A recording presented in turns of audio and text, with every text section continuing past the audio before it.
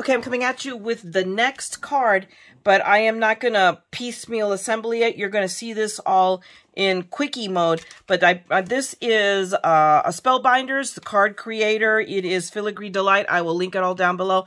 This is, I can tell by the sticker, it's an Expo, um, Expo buy that I've had for like forever and a day. Okay, I don't even know if you can get it. I will tell you, on some of these older dies, for those of you, the uninitiated, this one, I had a heck of a time when I die cut it of pulling it out. So you want to run it through with wax paper. Now that I think about it, I've not been having that issue with the newer spellbinders. So I'm assuming they're coming better. Um, there's a different coating. I'm not sure. I don't know. And maybe it's just I haven't done a super intricate one. But this guy was a booger to get out of the die. And that's when I remembered, oh yeah, dork, you needed to put wax paper. And then the other thing is, and this is, this I don't know if you can see that modeling. That modeling came off of, I believe, the the magnetic mat from my um, Empress. So I've, I don't know what's going on there. But the lucky thing is, is that that's going to go on top and nobody will notice. Of course, when you look at the oval, you will see that idiot here put the metal shim on top so it got marked.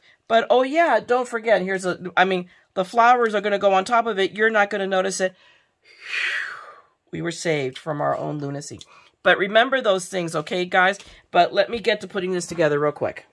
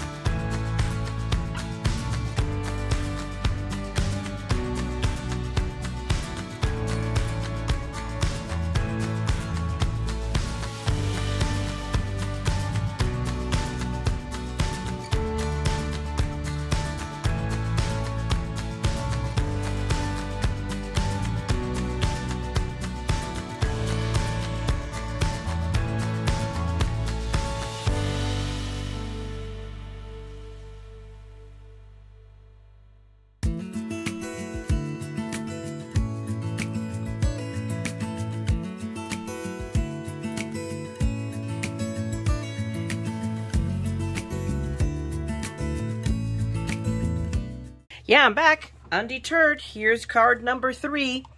Really simple, but really pretty, really elegant. I'm pleased with how this one has turned out. Um, I managed to also stamp it before I um, I started working on the on the level on the um oh my gosh the height of this. Um, I love this stamp from Crafter's Companion. Friendship isn't a big thing. It's a million little things. I'm a huge fan of that show, Million Little Things. Um, I love this stamp. I hate this stamp. I'm really bitterly disappointed that it stamps so badly. And it's obviously it's acrylic. It's not photopolymer. And I'm a, hey, I have mad skills with on Word. So I'm beginning to think I'm going to come up with a liner that I can put this and just do it myself. Because I'm, I'm really disappointed. I will admit it. So anyway, I will be right back because guess what? I have one more to make it four. Remember, if I'm going to cut one, let's cut four. Be right back. Okay, this last card is brought to you by this background plate from Gemini that I have had for, I don't know if I've had it for a while. I don't remember when I got it, how I got it, where I got it, but I have it. And it's just a background plate. It does not cut the, the square. What I did is I measured this out, and because I could already see that I had about an eighth of an inch here, and I wanted a quarter inch because I, this is going to be a shaker card. Surprise, surprise, I finally squeezed one in. I went ahead and just cut my panel another quarter of an inch larger than the die itself, which was all great and wonderful, but it's a pain in the butt to line it up. And then when you peel it out, it's even a bigger pain in the butt because it is really, really fine, as you can see here. What I suggest is if you guys got the paper to spare, and I did, this is a monster 100-page pack I have from Recollections, just cut it big and then trim it down to your edge and make it easy on yourself. So, having said that, the measurements will be down below on the offhand chance you're as crazy as I am. But I will now go ahead and set this up as a shaker and put it together. So, hang on, guys. Here we go.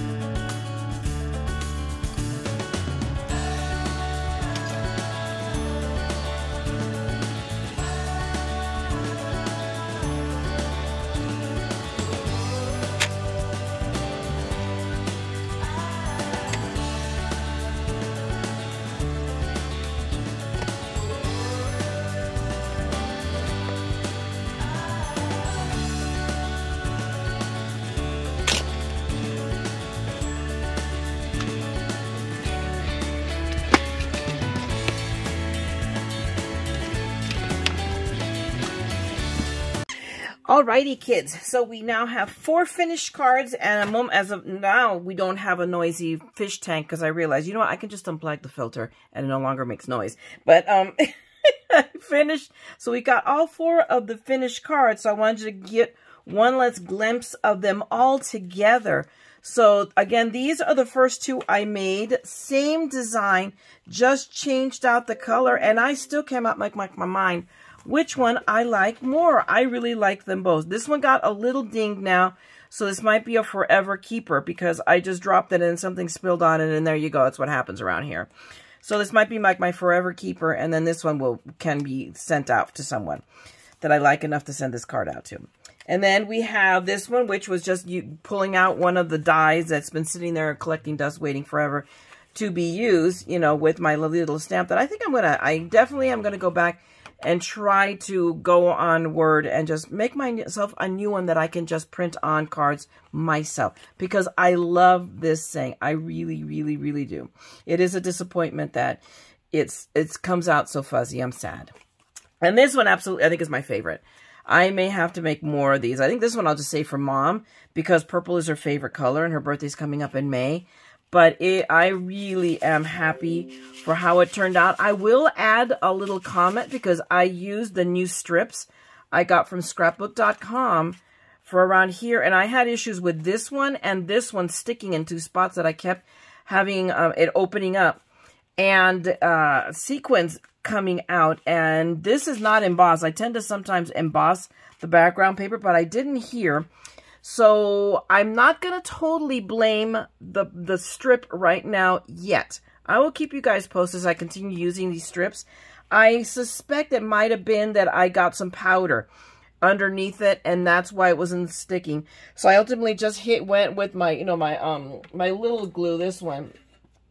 And, you know, because I could get the little point in and put some wet glue in there and sealed it up. And it's been fine. But it's the only, I mean, it was a spot right here and a spot right here.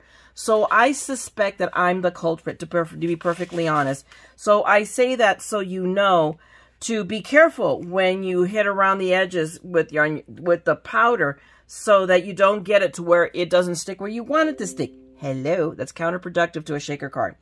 But I hope, honestly, you guys enjoyed this and you got something out of it. Thanks so much always for hanging out and watching all of my madness. I, I again, if you loved it, if you didn't love it, maybe you liked it, maybe you didn't like it. But, you know, if, if nothing else, if you feel like stay, taking pity on this poor mad scrapper, then go ahead and give me a thumbs up, drop me a note and say hi. Um, and I will respond. And if you want to see more of my madcap madness, I still have more. I have another video that's already shot. I'm going to be, um, oh my goodness, I'm going to be, um, what's the word now? Rendering. I'm going to be, you know, doing editing, editing, whatever the things you do that us YouTubers do um, that don't have a life. Um, we will, I will get that up there. You will see other stuff. I already have something else like set us. I have several projects right here on my desk. It's a hot mess as usual, but go ahead, subscribe and ring the bell and you know when this over talkative mad scrapper will be back. All right. Thanks a lot, guys. Go out there, craft, make something beautiful. And don't forget, we are all a little mad here. Do you have any doubt? So come, let's craft the madness together. All right. I'm going to talk to you guys later. Bye.